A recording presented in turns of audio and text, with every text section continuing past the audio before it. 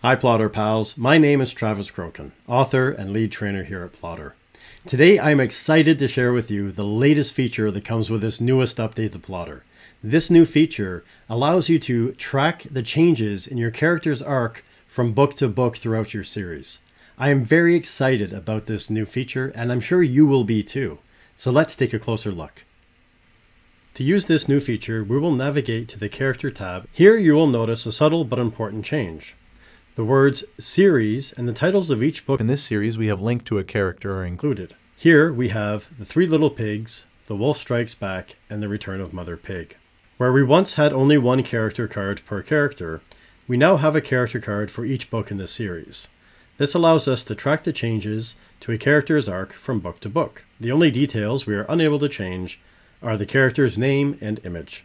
In Book 1, The Three Little Pigs, pig number 3 is the hardest working pig and is the protagonist of the story. Here, under Category, we can mark him down as the protagonist, and we can see the details under our notes that he is the hardest working of the three little pigs. In book number 2, The Wolf Strikes Back, this is where the wolf is now chasing the pigs, and we can update the character card to reflect the changes.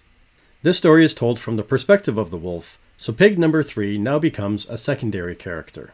We can also change his details to match what is occurring in this book. Here, under Category, we can make him a secondary character.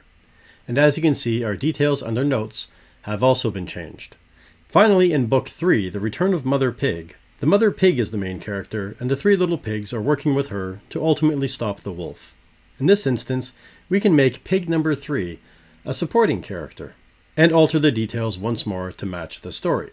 Here we have our notes altered to say, he helps keep the other little pigs in line and focused when confronting the wolf. Of course, we still have many preloaded templates you can use for your characters, and you can also change the details in any of those templates that you have used. So now we can see, in the three little pigs, pig number three is a protagonist, in the wolf strikes back, pig number three is a secondary character, and in the return of mother pig, pig number three is a supporting character.